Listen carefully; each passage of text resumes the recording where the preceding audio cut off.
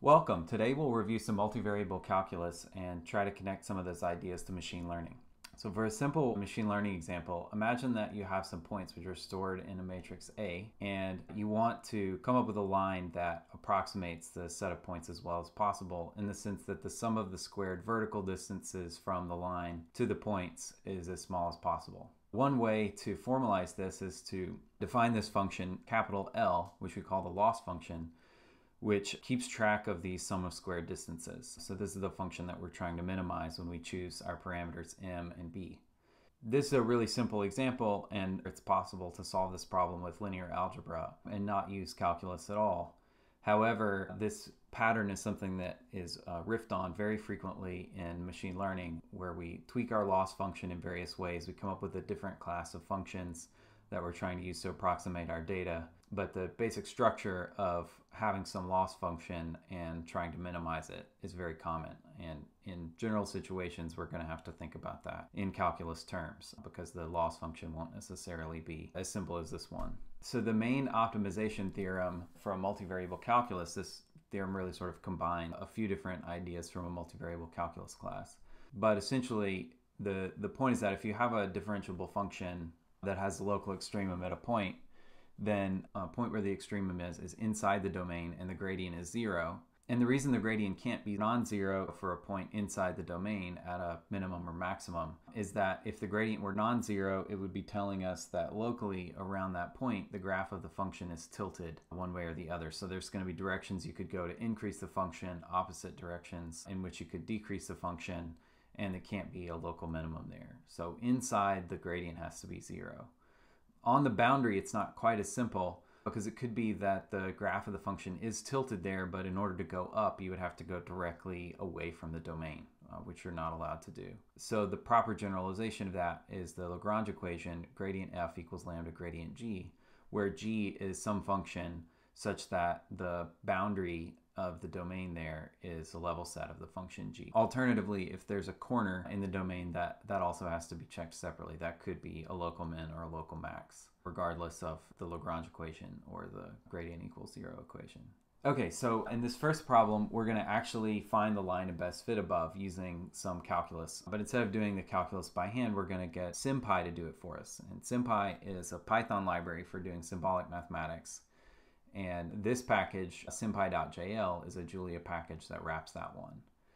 The instructions here tell us what to do. We define our expression L in terms of m and b. So this macro vars is declaring m and b to be variables in the algebra sense within the package SymPy. So we can then combine them using algebra rules and store the new expression we come up with as L.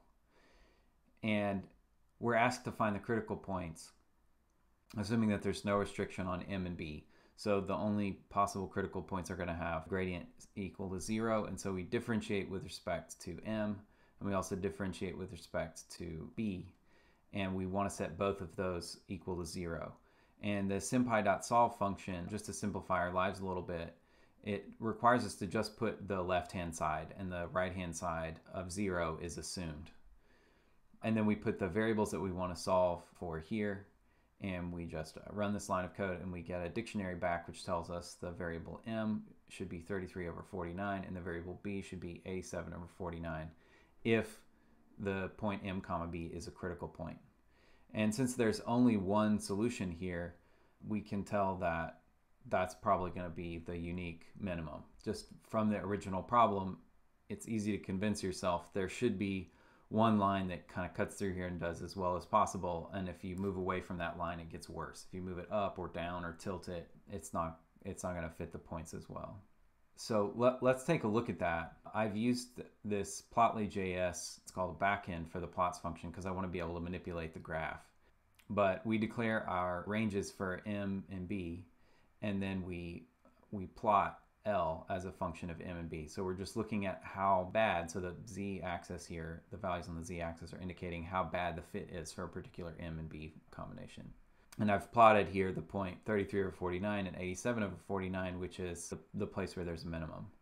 And what you can see is that this loss function has a very valley-like shape. In fact, if you look straight down the line here, it almost looks like there's not a single minimum, but in fact a whole line of minima that run along the bottom of this valley. But clearly, as you move the slope far away from the correct value, the, the loss gets large very quickly. But actually, it does curve upwards in all directions here. And we can see that by changing the z limit uh, to something much smaller, like 40. So we're kind of zooming in around the the point where the minimum is. And what you'll be able to see is that there's some curvature in, in uh, the, the more shallow direction as well. So we had to look at a more narrow range of z values to see that, but the orange point clearly is at the minimum of this loss surface.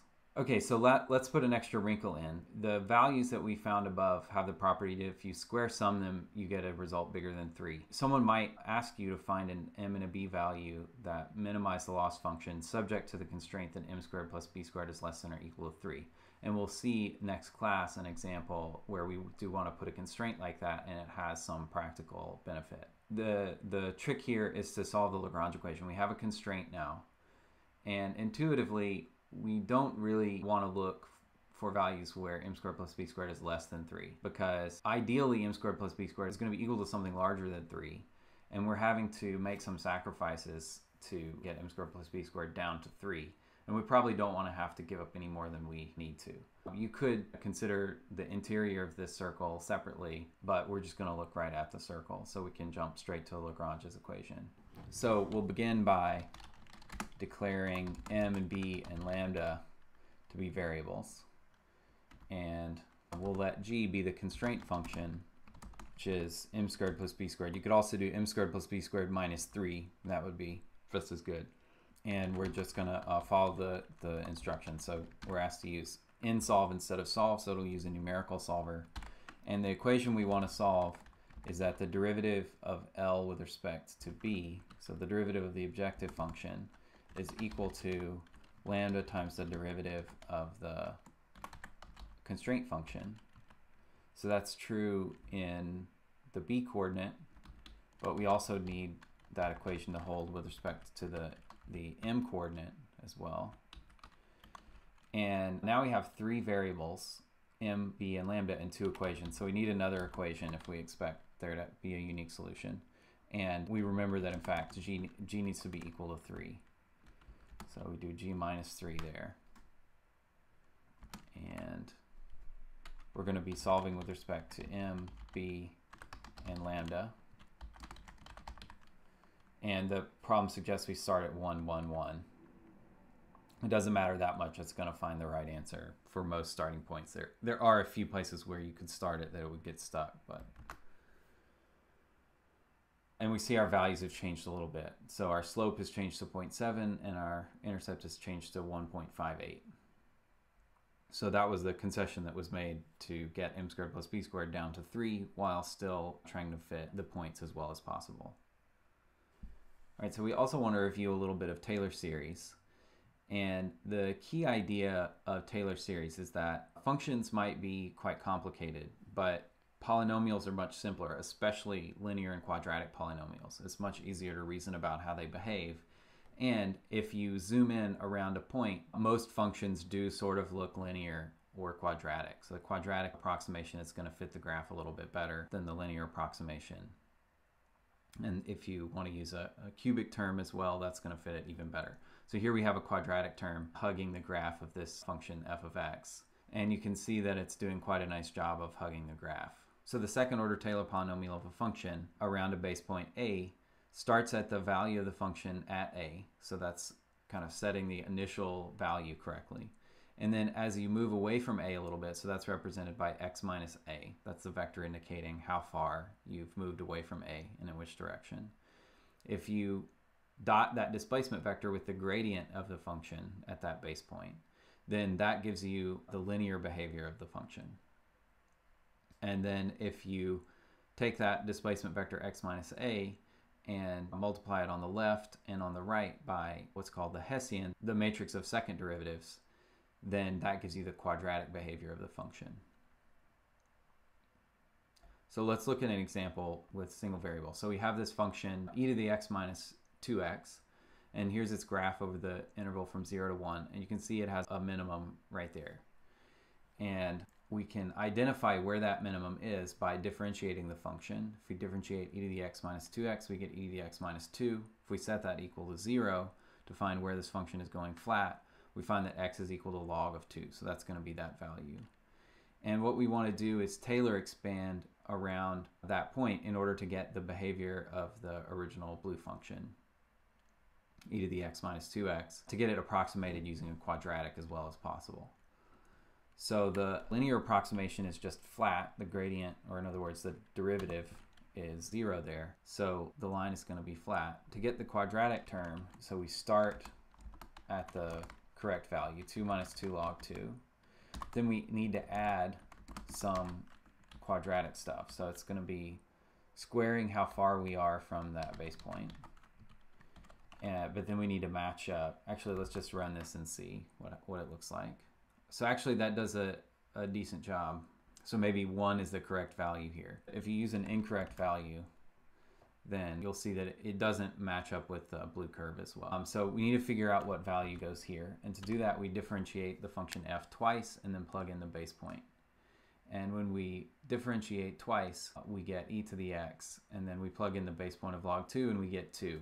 So 2 goes here, but then also there's a factor of a half because when you look at the Taylor series, the quadratic term has an extra factor of a half out front. We were right in the first place, there's a 1 that goes there. And that green function is going to be the quadratic function that approximates the blue one as well as possible. Let's see what happens when it's a little too small. If we multiply by a half again, then you can see the green one sort of misses the blue one on the other side. So moving up from one dimension to two dimensions, we get some more interesting behavior. So you can have, of course, a, a bowl shape like this. That's very much analogous to the parabola, upturned parabola type shape here. You can also get saddle behavior where the function is upturned in one direction and downturned in the other direction. So for example, here looks like a, a saddle or like a Pringle chip or something. You have an upward slope in this direction and then a, a downward slope coming back the other way. Uh, and so you have neither a maximum nor a minimum here.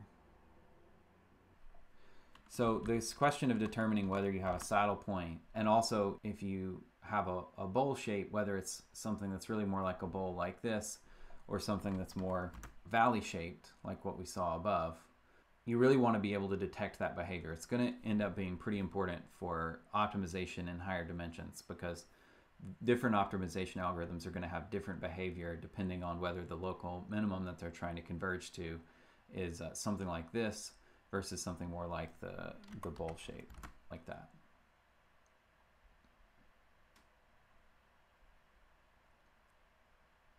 So the key idea for determining that behavior is to use the spectral theorem. So the idea is let's take the Hessian and expand it according to its eigendecomposition. We know that exists because the Hessian is going to be a symmetric matrix. So not only does the eigendecomposition exist, but the vectors are going to be orthonormal.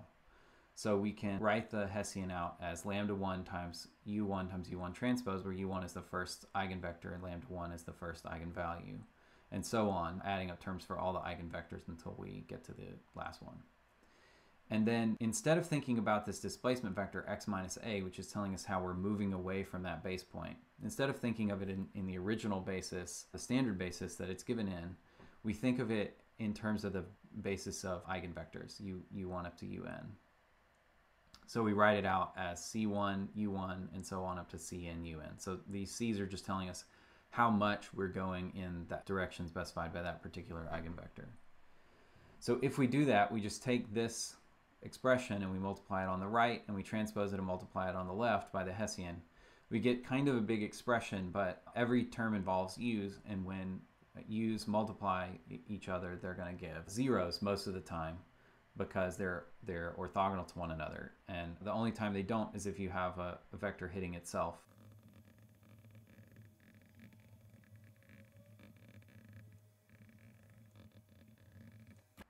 When we multiply out this part, what's going to happen is that we're going to get this term from this product and this term from this product and similarly for all the ones in between and then all of the cross terms are going to be zero. Anytime you have ui prime times uj where i and j are different, these are all going to be zero. And then similarly when we distribute here between these two factors and we end up with this expression.